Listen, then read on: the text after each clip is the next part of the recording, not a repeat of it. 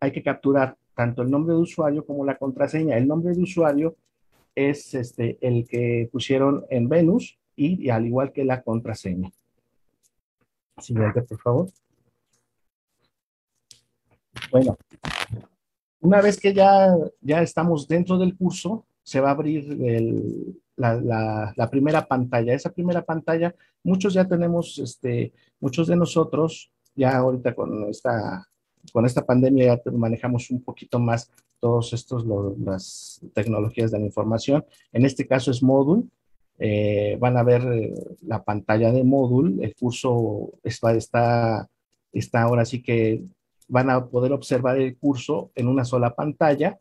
Eh, cada, cada, cada casilla es un tema, como bien lo, también lo comentó la maestra Iliana, está compuesto de cuatro módulos y en cada módulo vienen lecciones que hay que estar cumpliendo, hay que estar leyendo, hay que hay en cada una de ellas hay actividades y sobre todo también las evaluaciones.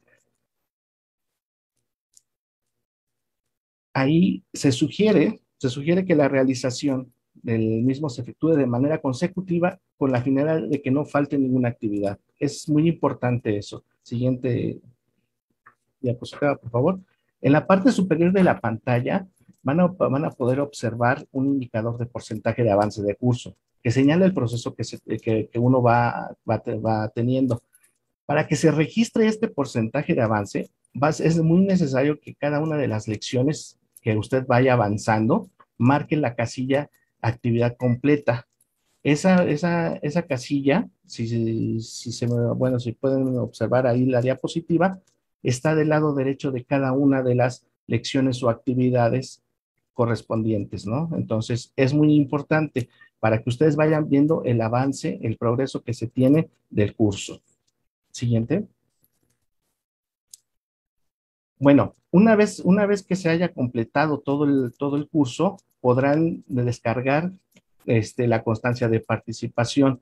Es muy importante haber concluido todas las actividades y todas las evaluaciones. De lo contrario, no podrán descargar esa, esa la constancia de participación. Siguiente.